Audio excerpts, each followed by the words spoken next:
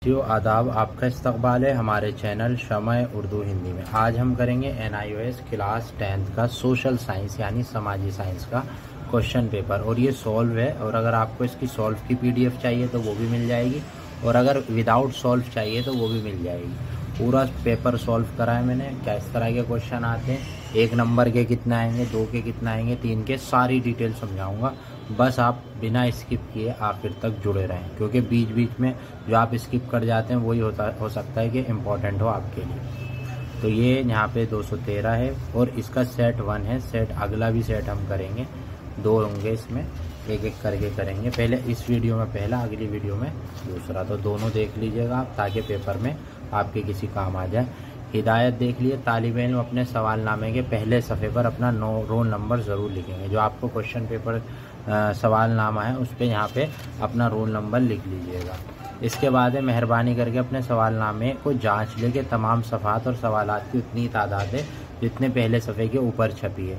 इस बात को भी जाँच करेंगे सवाल सीरीज़ में ये सब देख लेंगे। उसके बाद ये ए बी और सी डी में कोई एक जवाब मंतखब करना है।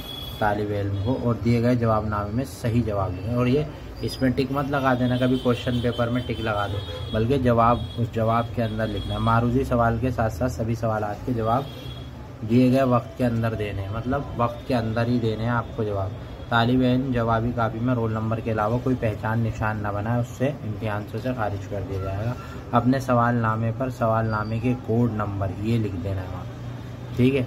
पर्चे सवालत या यक वक्त दो ज़बानों में फ़राम किया जाएगा। व शुबा पे इंग्लिश को, वर्जन को ही मोतबर जानना चाहिए। यानी वही सबसे बेस्ट है तो चलिए शुरू करते हैं। देखो, तीन घंटे का वक्त मिलेगा आपको और कुल मार्क्स होंगे आपके सौ। और सौ मार्क्स होंगे। अब आप सोच रहे होंगे कि असाइनमेंट के किधर चलेगा। वो सब अपने हिसाब से एडजस्ट कर लेते हैं।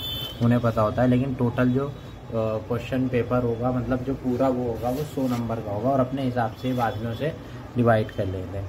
अब हिदायत जो है, दो तीन ये पढ़ लेते हैं, क्या हिदायत है? तमाम सवाल लाजमी, हर सवाल के माजी उसके नंबर दर्ज किए गए हैं। मतलब उसी के सामने नंबर दिए गए तो पहला सवाल यही है कि मारूजी सवाल में हर एक के चार मुतबाद जवाब हैं। आपको दुरुस्त जवाब, चुनकर जवाबी बयाज में लिखना है। जवाबी बयाज के साथ नक्शा मुंसलिक है इसके अंदर नक्शा भी है, मैप भी है, उसे भी करेंगे। तो पहला सवाल ये बनता है हमारे सामने कि मंदर जेल में से कौन सा वेद सबसे पहले लिखा गया वेद जानते हैं आप, चार वेद होते हैं, अतुर्वेद, सामवेद, ऋग्वेद और यजुर्वेद। तो इसका जवाब है ऋग्वेद। ऋग्वेद जो है वो सबसे पहले लिखा गया है। अब इसे याद रखने का भी जो है एक आसान तरीका है कि भाई कैसे इसे याद रखा जाए। ऋग्वेद। ठीक है, सबसे पहले जो लिखा गया है ऋग्वेद। याद रखना है आपको। कि ऋग्वेद जो लिखा गया है, वो सबसे पहले लिखा गया इसके बाद दूसरे सवाल पर आ जाते हैं। दूसरा सवाल ये है कि मंदरजा झेल बयानात में से जो है, कौन सा बयान इसलाही फरमा रवी, रवाई को ज़ाहिर करता है? तो आपको इसका जवाब लिखना है, सरबराह ममलकत, यानी हेड ऑफ़ स्टेट इलेक्शन के ज़रिए मंतखब शख्सियत।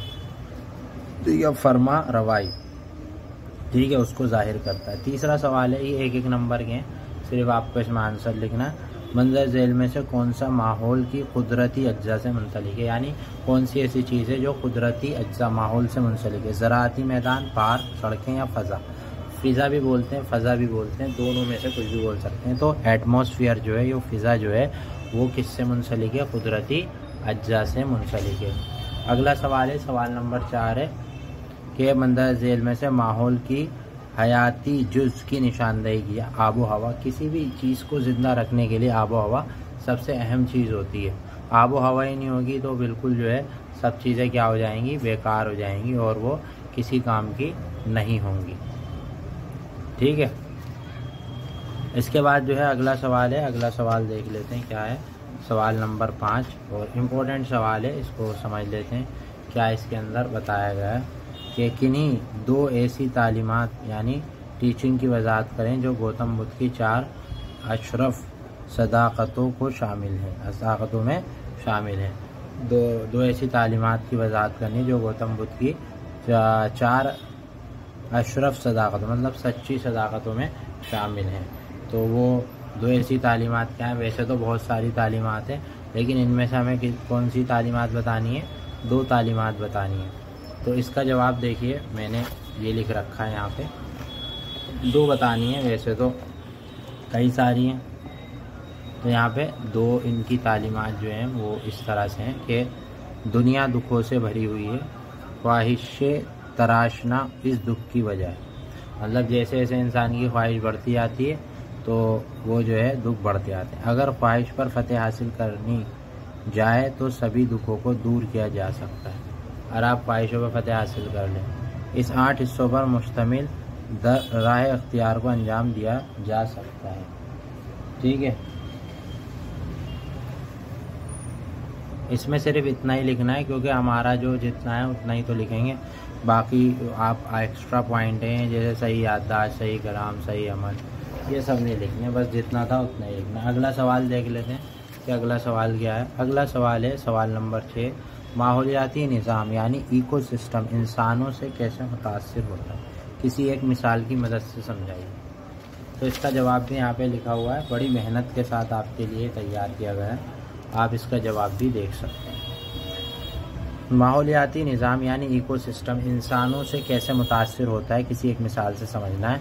यानी बायोडाइवर्सिटी यानी हयातियाती तनु, यानी बायोलॉजिकल डाइवर्सिटी से मुख्तसर शक्ल है। हयातियाती तनु या हयातियाती तनु एक असलाह है।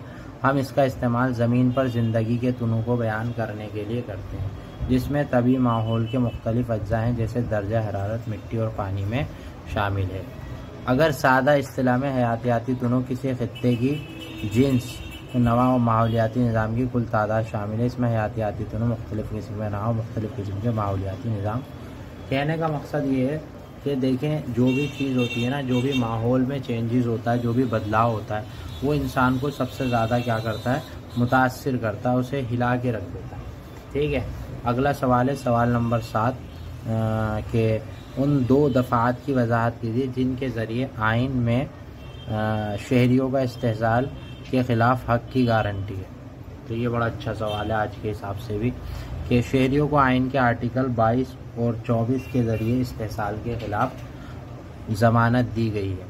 इस्तेसाल कहते किसे? इसे समझ लीजिए। इस्तेसाल का मतलब होता है कि किसी की मजबूरी का फ़ायदा उठाना। मान लो मज़दूर है, सरकार ने तय कर दिया कि भाई आपको चार सौ रुपये एक दिन की मजदूरी मिलेगी। लेकिन वहाँ चार सौ रुपये वो लिखवा रहा है, कॉन्ट्रेक्टर लेकिन दे तीन सौ रहा है कि अगर भाई करना है तो करो, वरना मैं दूसरा मजदूर रख लूँगा, वो तीन सौ में तैयार है। तो ये बेचारा मजबूरी में करने को तैयार है, यार चलो कोई बात नहीं। अब जो है, कुछ ना होने से तो कुछ होना बेहतर है तो इसे बोलते हैं इस्तेजाल के मजबूरी का फ़ायदा उठाना। अगर कोई ऐसा करता है तो तेईस और चौबीस जो आर्टिकल है, उसके ज़रिए इस्तेसाल के ख़िलाफ़ ज़मानत दी गई है।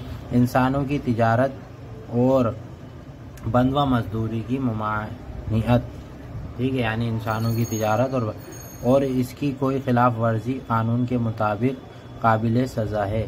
फैक्ट्रियों वगैरह में बच्चों की रोज़गार की ममानियत मतलब बच्चों को काम पे नहीं रखा जाए। ठीक है, अगला सवाल है कि गरीबी को जमहूरीत की सबसे बड़ी आफत यानी बैन क्यों समझा जाता है? वजाहत करें। तो इसका जवाब मैंने यहाँ पे लिख रखा है। बहुत साफ़ लिखा हुआ है, बहुत अच्छा।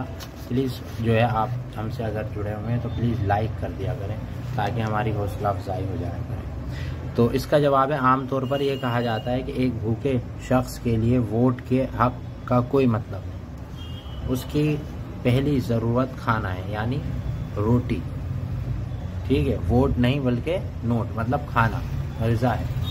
इसीलिए गरीब को जमहूरियत के लिए ज़बरदस्त नहूसत आफत समझा गया दर हकीकत ये आ, ये है फरी की तरह महरूमियों और अदम मसावत की असल जड़ है। उन्नीस सौ की दहाई में गैर गज़ाई मदद जैसे कपड़े, रोज़गार, रिहाइश, तालीम वगैरह को गुर्बत में शामिल किया गया। असरी मरहले में गुर्बत को हकूक़ के मनज़म मरहूमी के साथ जोड़ा गया। इसी वजह से गरीबी को जमहूरियत के लिए सबसे बड़ी आफत, यानी बेनसब मतलब कहने का यही है कि जो गरीबी है, वो कहीं ना कहीं लोग जो गरीब होते हैं, वो कुछ, देखो सारे नहीं, कुछ जो ऐसे होते हैं बेचारे, उनको खाने की ज़रूरत होती है तो उसके ज़रिए भाई वो खाना मिलेगा तो उसे वोट की क्या ज़रूरत है? ठीक, अगला सवाल जो आता है वो ये है कि सवाल नंबर नौ, यूरोप में दसवीं सदी के बाद जागीर राना इकतसादियत यानी फेडरल इकोनॉमी में की गई मुख्तलिफ़ तब्दीलियाँ बयान कीजिए। क्या क्या जो है यूरोप में दसवीं सदी के बाद जो है जागीराना इकतसादियत में तब्दीलियाँ की गई? वो आपको यहाँ पे एक्सप्लेन करना है तो उसका जवाब भी मैंने यहाँ पे बहुत साफ़ सुथरा करके लिख रखा है। तो यहाँ पे आप देखिए कि जागीरदाराना निज़ाम नहीं रहा आ, नहीं रहा ताकि नहीं रहा ताकि लोग आसानी से ज़िंदगी गुजार सके। जवाल के कुछ सदियों के बाद के दौर में निशानदही माशी ज़िंदगी की एक कमतर सतह की तौर पर की थी। ये सियासी तब्दीली और खलफशार का भी एक दौर था। शहरी ज़िंदगी तजारत मुबादला ज़र में जवाल आ गया था। बाज़ शहरी रोमी दौर के जवाल से बच गए थे, लेकिन वे सिर्फ़ खोखले खोल थे, जिसका कोई हकीकी माशी रोल नहीं था। सड़कें ख़राब हो चुकी थी। तबादला अशिया की जगह ज़र यानी मनी ने ले ली। तो ये चीज़ें ख़त्म हो गई थी, क्योंकि आप देखें नोट आ गया था, करेंसी आ गई थी, बार्डर सिस्टम ख़त्म हो गया था। तो इस वजह से हम कह सकते हैं कि ये जो फेडरल सिस्टम की कई तब्दीलियाँ आई थी जागीरदाराना इकतसादियत ख़त्म हो गई थी और ये सारी बातें हुई थी। अगला सवाल है, कुछ सवाल जो है थोड़े समझ में ना आए तो थोड़ा डीपली आप खुद कर लीजिएगा। अगला सवाल है, फ्रांसीसी इनकलाब के अहम नुकात बयान करें। Describe the main features of the French, French revolution.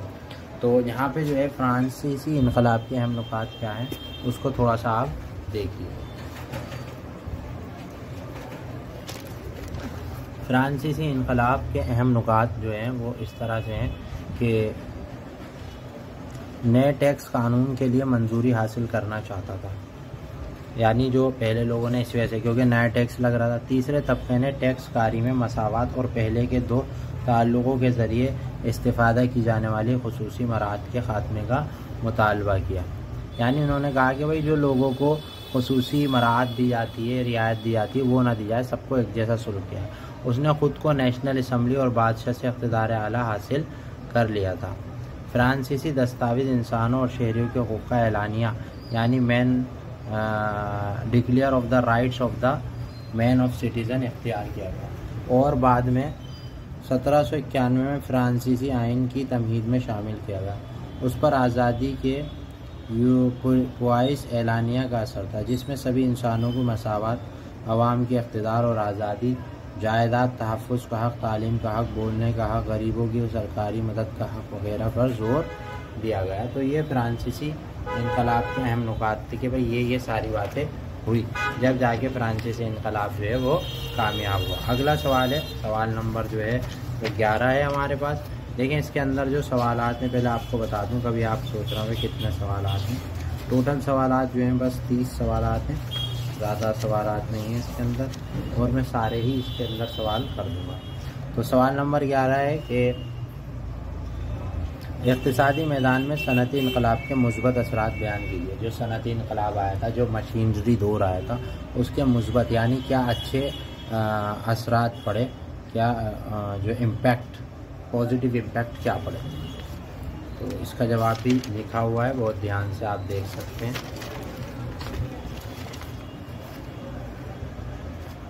इकतदी मैदान में सनदी इनकलाब के मुस्बत असरा सनदी इनकलाब के ज़रिए आवाम को शहरीों की तरफ़ नकलो हरकत करने का हौसला मिला। यानी जो गाँव के लोग थे वो शहरों की तरफ़ आ गए। पहला फ़ायदा ये हुआ, उससे एक शहरी समाज पैदा हुआ। दूसरा फ़ायदा हुआ कि लोग शहरों शहरी समाज पैदा हो गया। लोग यहाँ के बारे में सीख गए। वर्क शॉप या फैक्ट्रियों के करीब ही रहने लगे। यहाँ उनको रोज़गार के मौके दस्ताब और वो उसके करीब ही रहने लगे जिससे उन्हें रोज़गार मिलने लगे। लेकिन फैक्ट्रियों में काम करने के हालात ठीक नहीं थे। इसके अलावा रहने के मकान हिफान सेहत भी खस्ता थी। मतलब ये चीज़ों की कमी थी। फ़िलहाल हमें मुस्बत बताने तो मुस्बत बता दी। अगला सवाल है 1600 में अंग्रेज़ों के ज़रिए हिंदुस्तान के साथ तजारत को कंट्रोल करने के लिए इख्तियार किए गए मुख्तलिफ़ तरीके बयान किए। जो 1600 में अंग्रेज़ों के ज़रिए हिंदुस्तान के साथ तजारत की गई तो उसमें जो है कौन से तरीके इस्तेमाल किए गए, उनको यहाँ पे बताना है। तो इसका जवाब भी यहाँ पे लिखा हुआ है, बहुत साफ़ सुथरा है। और अगर आप अभी अभी जुड़े हैं तो प्लीज़ लाइक कर दिए सब्सक्राइब कर दिए। सोलह सौ में ईस्ट इंडिया कंपनी कायम की गई। ईस्ट इंडिया इस कंपनी को बरतानवी हुकूमत के तइद हासिल थी इसकी मदद से इंग्लैंड बर सग़ीर हिंद तक अपनी इलाकई सरहदें तोसी करने का अहल हो चुका था। ठीक है मतलब इंग्लैंड बर सग़ीर हिंद तक अपने जो है पूरा इलाका फैला दिया था उसने। 1613 में पहली फैक्ट्री कायम हो चुकी थी। 1615 में सर थामस ने मुग़ल बादशाह जहांगीर से आगरा, अहमदाबाद और बड़ोच में मज़ीद फैक्ट्रियाँ खोलने की इजाज़त हासिल कर ली। इनकी सबसे ज़्यादा अहम मदारिस को जनूबी साहिल और उन्होंने किला बंद फैक्ट्रियाँ बनवाई, जिसे फ़ूड सेट चार्ज किया गया। ये हिंदुस्तानी सरजमीन पर कंपनी के ज़रिए हासिल की गई पहली खुद मुख्तार मलकियत थी। धीरे धीरे कंपनी ने अपने तजारती जाल फैलाया। तो इस तरह इन्होंने जो है, अंग्रेज़ों ने हिंदुस्तान में तजारती के ज़रिए पूरे भारत को कंट्रोल में कर लिया। अब इसके बाद तेरहवा सवाल आता है, आपका वक्त बिना बर्बाद किए। राजा राम मोहन राय का ये बतौर बतौर समाजी, मजहबी असलाहकार रोल की वजाहत करें। राजा राम मोहन राय के बारे में सभी जानते हैं कि उन्होंने सती की रस्म को ख़त्म किया था। तो फिर भी पढ़ लेते हैं, क्या है? राजा राम मोहन राय बंगाल का एक ब्राह्मण फैमिली में पैदा हुए। अपने भाई की बहू की दुर्गत से, जिसे सती होने के लिए मजबूर किया गया था। जज्बाती तौर पर उसका गहरा असर पड़ा। उन्होंने अपने रिवाज को जड़ से ख़त्म करने का आज़म किया। इस सिलसिले में उन्होंने उस ज़माने में राइट, नाजायज़ समाजी और मजहबी रिवाजों को चैलेंज किया। उन्होंने 1828 में हर वह समाज कायम किया। पहले शख्स थे जिन्होंने सती के रिवाज को चैलेंज करने में पहली पहल कदमी की और जल्द ही इस उन्होंने उसने हयात जंग छेड़ दी। और इस तरह ये एक नहूसत थी। सती की रस्म ख़त्म। इसके बाद चौदवा सवाल है, बरतानवी पॉलिसियों की वजह से किसानों को कुछ बगावतें क्यों हुई? वजाहत करें, बरतानवी पॉलिसी, किसानों की कुछ बगावतें क्यों हुई? वजाहत करें। तो इसका जवाब आप यहाँ देख सकते हैं। नौवादियाती बंदोबस्त ने ज़मींदारों को ज़मीन का मालिक बना दिया। ठीक है? जब नौवादियात हुई, इन्होंने नए नए इलाकों पर कब्जा करा मार धाड़ करके। लेकिन वक्त पर अदायगी ना होने की सूरत में उनकी ज़मीन को फ़रोख्त कर दिया जाता था। अगर किसान वक्त पर अदायगी नहीं करते थे तो उनको ज़मीन को फ़रोख्त कर देते इसकी वजह से जो है, ज़मींदारों की फ़सल ना होने की सूरत में भी किसानों ने रकम की वसूली, वसूल पर मजबूर होना पड़ता था। ये किसान अक्सर महाजनों से रकम अदा किया करते थे। मजलूम किसान इस धारा उधार रकम को कभी चुका नहीं पाते थे, जिसके नतीजे में वो इंतहाई गुर्बत और खस्ता हाली का शिकार हो जाते और बंधवा मज़दूरों के तौर पर काम करने पर मजबूर हो जाते थे। तो ये थी भाई अंग्रेज़ों के ज़माने में किसानों की हालत। हिंदुस्तान की मकामी अहमियत, यानी लोकेशनल सिग्निफिकेंस की वजाहत करें। हिंदुस्तान की मकामी अहमियत क्या है? तो इसका जवाब भी बहुत आसान है और बहुत साफ़ सुथरा मैंने लिख रखा है। आप देख सकते हैं। पंद्रहवें सवाल का जवाब है कि हिंदुस्तान मशरक़ी और मगरबी एशिया के दरमियान मरकज़ी मकाम रखता है। हिंदुस्तान एशियाई बर अज़म के जनूब की तरफ़ फैला हुआ है। तजारती समुद्री रास्ते मगरब में यूरोप की ममलकत और मशरक़ी एशिया के ममालिक को जोड़ते हैं। तो ये हिंदुस्तान की मकाम की अहमियत है। मतलब इसकी लोकेशन के क्या फ़ायदे हैं, क्यों, क्या वैल्यू है लोकेशन तो पहली वैल्यू तो यही हो गई कि बर अज़म के जनूब की तरफ़ हो रहा है, तजारती समुंदर रास्ते इससे मिल के जाते हैं। इस तरह हिंदुस्तान की जोग्राफियाई सियासी फ़ायदा हासिल है। इसी वजह से इसको ये फ़ायदा हासिल है। इसके बाद जो है अगला सवाल है, सवाल नंबर सोलह। अमी काश्त, यानी इंटेंसिव फ़ार्मिंग और वसी काश्तकारी, यानी फ्लैक फिक्सटेंसिव फ़ार्मिंग में फ़र्क वाजे कीजिए। दोनों में क्या डिफरेंस है? अमीक काश्त और वसी काश्त। तो इसका जवाब भी भाई यहाँ पे लिखा हुआ है। बहुत आसान है समझते हुए चलेंगे तो क्लियर हो जाएगा।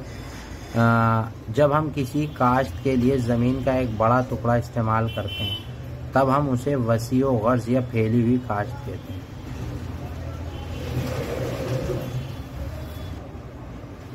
यहाँ बड़े रकबे की वजह से कुल पैदावार होती है। ठीक है? तो वसी गर्ज या फैली हुई वसी।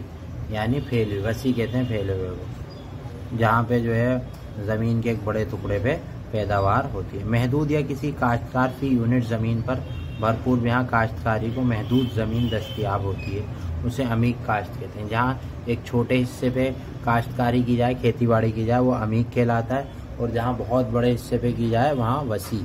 ये याद रखिएगा अमीर और वसी। अगला सवाल है, सवाल नंबर सत्रह। हिंदुस्तान में बारिश की तकसीम इंतहाई गैर हमवार है। मंदरजा बाला बयान के हक में मिसालें पेश करें। मतलब गैर हमवार ये है कि कभी कहीं बारिश होती है, कभी कहीं बारिश नहीं होती। कभी कहीं कहीं सूखा पड़ रहा होता है, कहीं बारिश हो रही होती तो इसके हक में मिसाल पेश करनी है कि भाई क्या है ये। तो इसका जवाब भी आपको मिल जाएगा। सवाल नंबर सत्रह का। तो इसका जवाब है कि हिंदुस्तान में बारिश की मकदार में ज़बरदस्त नाबराबरी रहती है। जैसे जैसे हम शिमाली मैदानों में से मशरक़ से मगरब की तरफ़ बढ़ते हैं, हम देखते हैं कि मरकज़ी हिंदुस्तान में बारिश की मकदार कम होती है। ये याद रखना, क्योंकि हम शिमाली मैदानों में से मशरक़ से मगरब की तरफ़ बढ़ते हैं तो मरकज़ी हिंदुस्तान में बारिश की मकदार कम होती है। और हिंदुस्तान के जजीरा नुमा खत्े में साहिल से लेकर अंदरूनी हिस्सों तक बारिश की मकदार कम होती जाती है, और बुलंदी के साथ साथ बारिश की मकदार बढ़ती चली जाती है। ज़्यादा बारिश 200 मीटर वाले इलाके मगरबी साहिल शिमाली मशरकी के जहली हिमालयाई हिस्सों में होती है, यानी पहाड़ी इलाकों में ज़्यादा बारिश होती है। अब इसके बाद सवाल नंबर 18 है, चार ऐसे रहनुमाई असूल यानी डायरेक्टिव प्रिंसिपल बताएँ जो समाजी और इकतसादी मसावत को बढ़ावा देते हैं। तो हमें चार रहनुमाई असूल बताने तो चारों मैंने लिख रखे हैं, यहाँ पे आप देखिए। बहुत साफ़ साफ़ लिखे हुए हैं और आपके समझ में भी आ जाएँगे। इसका जवाब है, रोज़गार के तकरीबन तमाम मैदान में कम अज़ कम उजरतें मुकर की गई हैं। ठीक है? तो पहला पॉइंट तो यही है कि ये मसावत बराबरी है कि भाई रोज़गार में तमाम मैदान में कि भाई इतनी कम से कम मिलेगी। तो ये मसावी है। दूसरा, मर्दों और औरतों दोनों के साथ मसावी काम के लिए मसावी उजरत है। अगर मर्द काम करे या औरत काम करे, उसको बराबर, जैसा भी क्रिकेट में हुआ है पहले औरतों को क्रिकेट में कम पैसे दिए आते थे, मर्दों के मुकाबले, लेकिन अब दोनों को बराबर कर दिया। तो ये भी एक मसाल। रियासत के 14 साल तक के बच्चों के लिए ज़रूरी और मुफ़्त तालीम फराहम करने के लिए कदम उठाने की हिदायत दी है। ये भी एक मसावी कदम है समाज के साथ। रियासत को दौलत की तकसीम इस तरह करनी चाहिए कि दौलत को कुछ ही हाथों में ना सिमट जाए। यानी ऐसा ना हो कि सिर्फ़ चंद अमीरों, बल्कि सबको मौका मिले और सब फ़ायदा उठा सके। उन्नीसवा सवाल है, आपकी स्क्रीन पर कि ग्राम पंचायत की आमदनी के चार अहम ज़राए बनाए कीजिए जो ग्राम पंचायत गाँव में होती है, उन्नीसवें सवाल में। तो आपको बताना है कि उसकी आमदनी कैसे होती है। तो देखें उसकी आमदनी कैसे होती है। ज़मींदार, ज़मीन, जायदाद, सामान और मवेशियों पर टैक्स लगाती है, वो इनसे टैक्स लेती है। तो इससे आमदनी होती है, बारात घर या कोई दीगर पंचायत की जायदाद जैसी सहूलियात के लिए हासिल किया जाए बारात घर बने होते हैं, उनसे भी है हासिल करते बारात घरों के ज़रिए भी हासिल करती तब और तीसरा है कि जुर्म करने वालों से जमा किए गए जुर्मों के मुख्तलिफ़ अकसाम।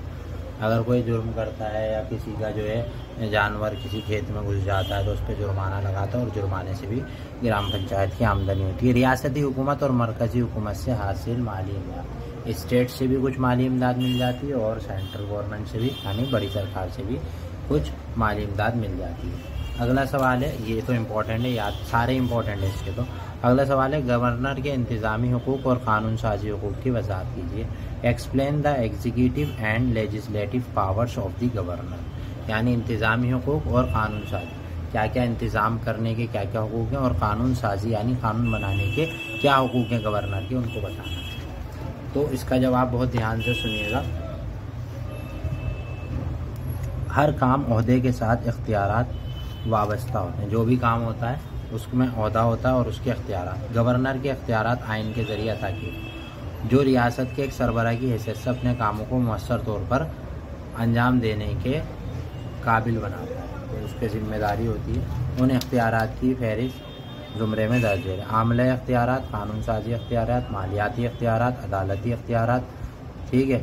और पर मबनी अख्तियार यहाँ हर तरफ़ इंतज़ामी हकूक़ और कानून साजी हकूक़ पर वजाहत कर सकें। आमली, आमला अख्तियार इंतज़ामी हिंदुस्तान का आइन गवर्नर को रियासत के सारे इंतज़ामी अख्तियार अदा करते हैं तो इख्तियार क्या होते हैं? जो उन कामों की वजारती काउंसिल के सलाह मशवरा और उनकी मदद से अंजाम देता है, जिसको सरबराह वज़ी अला होता है। वज़ी अला की सरबराह और कानून साजी का हकूक ये होता है कि इसको कि गवर्नर रियासती मुकन्ना का अटूट हिस्सा है और इस पर और इस बिना पर उसे मखसूस कानून साज इख्तियार मिले हुए इसे रियासती मुकन्ना के बुलाने और मुलतवी करने का। इसे हक है कि वह रियासती मुकन्ना को बुलाए और उसे मुलतवी करे। अब इक्कीसवा क्वेश्चन है हमारे पास कि सुप्रीम कोर्ट यानी अदालत आलिया के असल, ओरिजिनल और अपील करदा, यानी एप्लीट दायरा अख्तियार की वजाहत करे, सुप्रीम कोर्ट के और अपील करदा, दायरे अख्तियार की क्या करें, वजाहत करें। तो इक्कीसवा क्वेश्चन है, इसका जवाब है, सुप्रीम कोर्ट यानी अदालत आलिया के असल, यानी ओरिजिनल और अपील करदा, दायरा अख्तियार की वजाहत। असल दायरा अख्तियार सिर्फ़ सुप्रीम कोर्ट को बाद मुकदमों की सीधे तौर पर समाती अख्तियार मरकज़ी हुकूमत और एक या एक या ज़्यादा रियासती हुकूमतों के दरमियान तनाज़ा। ये सारे सुप्रीम कोर्ट को अपील करता है। ये करती है सुप्रीम कोर्ट के भाई जो है, अगर दो रियासतों के दरमियान झगड़ा हो रहा तो उन्हें सुलझाती है अपील दायरा अख्तियार अपील करदा जो भी अपील अपील कर रहा है। निचली अदालतों के ख़िलाफ़ आला अदालत के ज़रिए समात और फैसले करने का अख्तियार अपील दायरा अख्तियार कहा जाता है। मतलब वो निचली अदालतों से फिर बड़ी अदालत में जाता है इंसाफ के लिए। सुप्रीम कोर्ट आइनी दवाई और फौजदारों मुकदमों के लिए अपील कोर्ट है। अगला सवाल है भाई, सवाल नंबर तेईस। फ़िरका परस्ती यानी कम्युनिज़म और इलाका परस्ती यानी कौमी इतिहाद के लिए कैसे चुनो? फ़िरका परस्ती और इलाका परस्ती, बड़ा इंपॉर्टेंट सवाल। इसका सवाल है, फ़िरका परस्ती एक नहायत पेचीदा मसला है, जिसका सामना हिंदुस्तान करता रहा है। ये मसला तब पैदा होता है जब किसी एक मज़हब से ताल्लुक़ रखने वाले अफराद अपने मज़हब से ज़रूरत से ज़्यादा पसंद करते हैं और दूसरे मज़हब के तय नफरत को समझते हैं। मतलब फ़िरका परस्ती उसे कहते हैं कि सिर्फ़ अपने मज़हब को अच्छा समझते हैं और दूसरे मज़हब से नफ़रत करते हैं तो इसे फितरा फ़िरका परस्ती कहते हैं। और ये जो है हमारे मतलब मुल्क के लिए ख़तरनाक है, हमारे देश के लिए, भारत के लिए ख़तरनाक है। इस तरह के एहसास मज़हब परस्ती और तसब को फ़रोग देते हैं मतलब आपस में लड़ाई है। और मुल्क के इतिहाद और सालमियत के लिए ख़तरनाक साबित होती है। और इलाका परस्ती क्या होती है, इसको भी समझिए। इलाका परस्ती, कौमी यकजहती में इलाकाइत एक बड़ी रुकावट है। कई मौक़ों पर लोग इलाकाई मफादात को कौमी मफादात पर फ़रोग देते हैं। इसीलिए इलाका परस्ती कौमी इतिहाद के लिए बहुत खतरनाक है। कभी कभार लोग क्या करते हैं अपने इलाके को जो है अपने इलाके को कौमी मफादात पर फ़रोग देते हैं। कहते हैं भाई पहले हम अपने इलाके की देखेंगे बाद में देखेंगे देश की। तो अगर ऐसा होता है तो ज़ाहिर बात है कि इलाके का तो फ़ायदा हो रहा है लेकिन वो देश के लिए नुकसानदेह साबित हो सकते हैं। इसी वजह से हम कह सकते हैं कि इलाका परस्ती जो है वो आ, क्या कहते हैं मुल्क के कौमी इतिहाद के लिए कहीं ना कहीं चुनौतियाँ खड़ा कर देता है। इसके बाद अगला सवाल है सवाल नंबर चौबीस। सवाल नंबर चौबीस है और ये बड़ा इंपॉर्टेंट है। वो मुख्तलिफ़ मांगे बयान कीजिए, जो शुरुआती दौर की कांग्रेसी रहनुमाओं ने, जो मुअत्तल कहलाते थे। बाज़ पहले 20 सालों में बरतानवी सरकार के सामने दाश्तों के शक्ल में पेश की गई ठीक है तो सवाल को मैं जो है पढ़ दिया अब दोबारा देखेंगे क्या है इसका। पहले 20 साल के दौरान कांग्रेस ने मुतद मांगे रखी। उन्होंने नुमाइंदा मुकन्ना खदमत को हिंदुस्तानी रंग देना, फौजी अखराज में कमी, तालीम, रोज़गार और हिंदुस्तान में आई सी एस यानी इंडियन सिविल सर्विस का इनका काश्तकारों को बोझ में कमी, शहरी हकूक़ का दिफा, अदलिया के इंतज़ाम से अलग करना, आवाम की फलाह बहबूद प्रोग्राम की शुरुआत की मांगे की। ये सारे काम जो हैं कांग्रेस ने रहनुमाओं ने शुरुआत में किए। पच्चीसवा सवाल देख लेते हैं। पच्चीसवा सवाल है कि उन तभी यानी फ़िज़िकल और समाजी माशी अवामिल की वजाहत करें जो हिंदुस्तान में आबादी की तकसीम और कसाफत को मुतासर ठीक है? उन तभी यानी फ़िज़िकल, समाजी और माशी अवामिल की वजाहत कीजिए जो समा, हिंदुस्तान में आबादी की तकसीमी कसाफत को मुतासर करते हैं। ठीक है? समाजी और माशी अवामिल बताने। तो देखिए सवाल का जवाब, सवाल नंबर पच्चीस का। थोड़ा सा आप पढ़ेंगे तो और क्लियर हो जाएगा कि सवाल में कहना क्या चाह रहा है। ज़मीनी खदोकाल। ज़मीनी खदोकाल किसी मखसूस इलाके की ज़मीनी सतह बुलंद और नाशेबी हिस्सों के दरमियान चढ़ाई और ढलान के फ़रोग को वाजे करती है। यहाँ पहुँचना और रहना आसान होता है, यहाँ आबादी ज़्यादा होती है। ठीक है, ऐसी इलाकों में आबादी। और आबो हवा मुआफ़ आबो हवा इंसान के रहने के लिए आसान हालात पैदा करती है, यहाँ पे आबो हवा मुआफ़ होती है, वहाँ आबादी का घनापन रहता है। मिट्टी, जरखेज़, मिट्टी वाले इलाकों में आबादी ज़्यादा होती है, इसलिए जरखेज़ मिट्टी के खत्े शुमाली, हिंदुस्तान में सैलाबी मैदान और साहली मैदानों आबादी का आबादी का घनापन ज़्यादा होता है। इसके बाद भाई छब्बीसवा सवाल है कि किसी जमहूरीत में आवाम की राय के रोल की वजाहत करें। यानी explain the role of public opinion in the democracy तो इसका जवाब है छब्बीसवें का जवाब ध्यान से देखिएगा। आवाम की आवाज़ और राय, आमा की असलाहत राय आमा भी आ सकता है। एक ही मफहूम है। राय आमा कह लो या अवामी राय की जब आप इन असलाहत का मजीद मसाला करेंगे तो समझे, समझ जाएँ, राय आमा अवामी मसाइल के किसी मौजू पर आवाम की एक मनज़म और सोची समझी राय है। राय आमा की मुख्तलिफ़ तारीफ़ों जो काफ़ी हद तक उसका खसूसियत का इजहार करती है। राय आमा ख्याल का एक मजमू है। ख्याल दलील पर मबनी होते हैं। ख्याल जो हैं वो किस पर मबनी होते हैं? दलील पर मबनी होते हैं। कोई ख्याल पेश करने को ही राय आमा कहते हैं। अब सत्ताईसवा सवाल है और इसके बाद नक्शे हैं। बस तो देखिए सत्ताईसवा सवाल।